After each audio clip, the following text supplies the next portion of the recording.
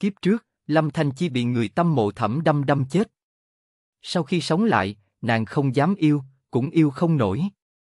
Nàng chỉ muốn sống thật tốt, quyết định rời xa sư huynh thẩm đâm. Sư huynh thẩm đâm vốn chán ghét nàng, lại giống như thay đổi thành một người khác, hỏi nàng vì sao lại trốn tránh hắn.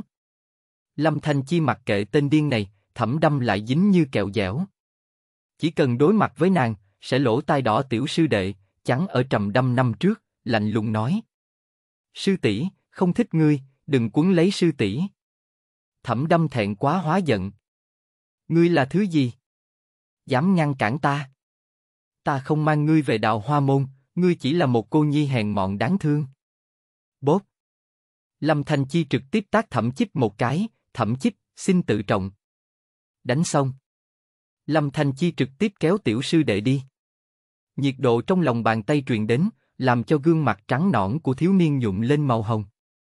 Anh cúi đầu, giọng cầu xin, chị, đừng thích thẩm đâm được không? Anh cực nóng nhìn Lâm Thanh Chi, trong lòng cầu xin, thích em được không? Chị. Nam chính giai đoạn trước ngụy trang ngoan đệ đệ, hậu kỳ bản tính bại lộ, điên cuồng mê luyến nữ chính. Chương 1 Trở lại 3 năm trước đây. Bạn đang nghe tại truyện chấm audio. Đã có lỗi xảy ra trong quá trình lấy test. Chương 02 Dính người tiểu nải cẩu. Bạn đang nghe tại truyện chấm audio. Đã có lỗi xảy ra trong quá trình lấy test. Chương 3 Ngọc Diện Diêm La Kỳ Tan Nhung. Bạn đang nghe tại truyện chấm audio. Đã có lỗi xảy ra trong quá trình lấy test. Chương 04 Xì Nha Lan Vương. Bạn đang nghe tại truyện chấm audio.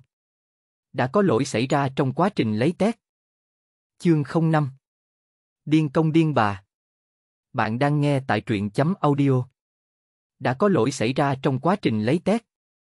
Chương 06 La sát hải. Bạn đang nghe tại truyện chấm audio. Đã có lỗi xảy ra trong quá trình lấy test. Chương 7 Luyện khí sư.